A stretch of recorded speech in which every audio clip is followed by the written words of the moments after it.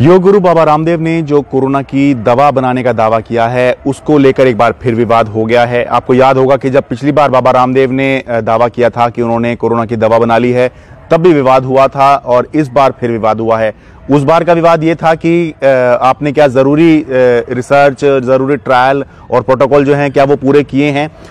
तो इस इस बार वो जो सवाल उठे थे, उनके जवाबों के साथ बाबा रामदेव सामने आए और अपनी उसी दवा को, कोरोनिल नाम की दवा है, जो कह रहे हैं कि ये कोरोना का इलाज करने के लिए दुनिया की पहली दवा है और एविडेंस बेस इसको उन्होंने बताया है। तो अब की बार विवाद ये हुआ है बाबा रामदेव की इस कोरोना उपचार की दवा में कि पतंजलि के एक टॉप एग्जीक्यूटिव हैं, वरिष्ठ अधिकारी हैं, उन्होंने दावा कर दिया कि ये जो दवा है, ये विश्व स्वास्थ्य संगठन से मान्यता प्राप्त है। और खाली पतंजलि से जुड़े बड़े लोगों ने ये दावा नहीं कर दिया, बल्कि कुछ बड़े बड़े पत्रकारों ने भी जो है ये ट्विटर पे दावा कर दिया कि ये जो है डब्ल्यू से मान्यता प्राप्त है।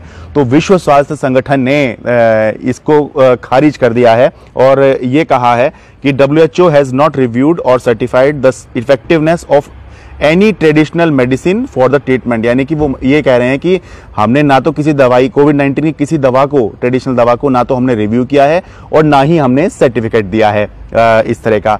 तो इसके बाद में अब पतंजलि के जो आचार्य बालकृष्ण हैं उन्होंने भी ये क्लियर किया है कि डब्ल्यूएचओ से सर्टिफिकेट की बात नहीं कही गई है।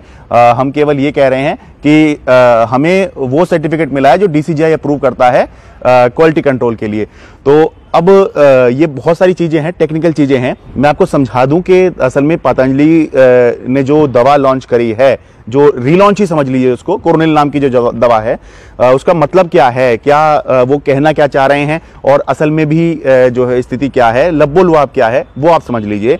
मामला ये है कि पतंजलि को कोरोनिल नाम की जो दवा है उनकी, उसके लिए पहली बात तो आयुष मंत्रालय ने उसको अप्रूवल दिया है कि हाँ ये जो दवा है, ये कोविड 19 के उपचार के लिए एक सहायक उपाय है। उन्होंने अभी तक ये कि केवल इम्यूनो बूस्टर थी, लेकिन अब जो है आयुष मंत्रालय ने जो लाइसेंस और अप्रूवल दिया है, उसमें इसको सहायक उपाय माना गया है इस दवा को, कोरोनिल को। यानी कि जो और बहुत सारे उपचार चलते हैं, बहुत लंबा चौड़ा उसका कोरोना के अंदर अभी क्योंकि पूरा इलाज नहीं मिला है तो जैसे जैसे रिसर्च होती रहती हैं तो उसको जो है भारत सरकार के जो अलग अलग अथॉरिटीज़ हैं, वो ट्रीटमेंट के प्रोटोकॉल में भी डालती रहती हैं। तो अलग अलग जो उपचार हैं, उनमें से जो है इसको भी एक सहायक उपाय के तौर पर अप्रूवल मिली है। और जिसको लेकर विवाद है कि डब्ल्यूएचओ ने अप्रूव कर दिया, वो क्या है? दरअसल क्या है कि जब भारत से कोई दवा एक्सपोर्ट होगी या किसी देश से दूसरे देश में एक्सपोर्ट होती है कोई दवा तो उसको कुछ क्वालिटी कंट्रोल कुछ स्टैंडर्ड्स जो हैं, वो मेंटेन करने होते हैं, क्योंकि वो दूसरे देश में जा रही है। तो वो कुछ नियम जो हैं डब्ल्यूएचओ ने बनाए थे और उसी का पालन करते हुए जो भारत का डीसीजीआई है drugs controller general of India उसने जो है पतंजलि की कोरोनिल नाम की जो दवा है उसको सर्टिफिकेट इशू किया है। सर्टिफिकेट ऑफ़ फार्मास्यूटिकल प्रोडक्ट यानी कि इस सर्टिफिकेट सर्टिफिकेट को दिखाकर पतंजलि अपनी इस दवा को एक्सपोर्ट कर सकता है।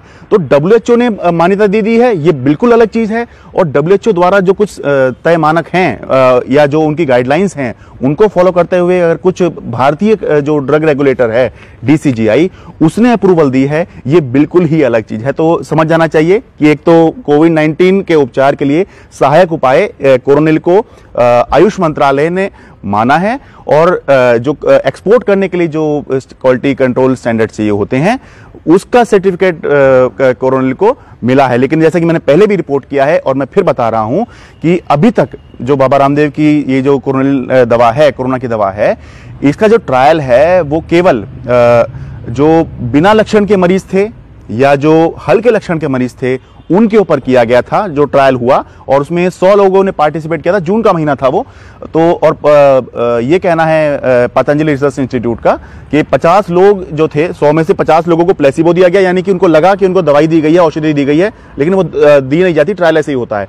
पचास लोगों को औषधि दी गई तो जिनको औषधि दी गई थी, वो सात दिन के अंदर ही सभी के सभी पॉजिटिव से नेगेटिव हो गए, और जिनको नहीं दी गई थी, उनमें से साठ फ़ीसदी ही पॉजिटिव से नेगेटिव हो पाए सात दिन के अंदर। तो उनका ये दावा है कि ये जल्दी ही जो है, कोरोना के असर को नेगेटिव कर देता है। लेकिन किन लोगों पर ट्रायल हुआ है? जो हल्के लक्षण वाले थे या बिना लक्षण वाले मरीज़ थे? बाबा रामदेव की जो पतंजलि रिसर्च इंस्टीट्यूट है, उसका कहना है कि जो सीवियर या गंभीर बीमारी वाले मरीज़ हैं कोविड नाइन्टीन वाले, उन पर अभी ट्रायल चल रहा है। तो आ, हमें ये नहीं मान लेना चाहिए कि आ, आ, ये जो दवा है ये कि आपने खाया आपको मान लो कोरोना हो गया भगवान ना करे आपको कोरोना हो कभी लेकिन अगर हो गया तो आपने दवाई खाई और आपका सब कुछ ठीक हो जाएगा ऐसा नहीं है। ये बहुत सारे जो उपचार बताए जाते हैं डॉक्टर की तरफ़ से उनमें से ये एक उपचार जो है हो सकता है। बहुत सारे डॉक्टर जो हैं कोई काढ़ा पीने को भी कह रहा है कोई गिलोय कोई गुड़ूची पीपली आयुर्वेदिक दवाओं को जो है मान्यता तो मिली ही है केंद्र सरकार की तरफ़ से। तो बहुत सारे ट्रीटमेंट बताए गए हैं। तो उनमें से एक ये भी है कि एक सहायक उपाय, ये जो दवाई है कोरोनिल, ये है। तो मैं उम्मीद करता हूँ कि अब जो कंट्रोवर्सी हुई थी, वो आपके समझ में आ गई होगी और आपको ये भी समझ में आ गया होगा कि बाबा रामदेव की कोरोनिल को जो अप्रूवल मिली हैं या मंजूरी मिली हैं, वो किस तरह की हैं और क्या हैं।